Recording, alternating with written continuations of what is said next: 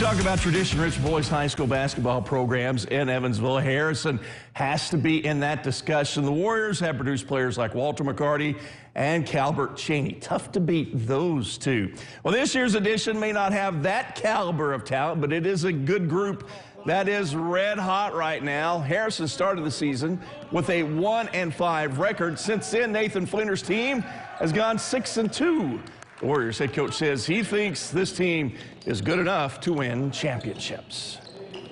I think this team can be really good. I think that uh, we're we're still seeing how good can we be. You know, we have uh, one thing is we lost our big guy last year, uh, and Terrence Ringo to graduation, and so we have a lot of guards, and we have some guys that are, are new to the varsity level, and we're kind of learning ourselves as we go. I think we are getting very close to where we want to be.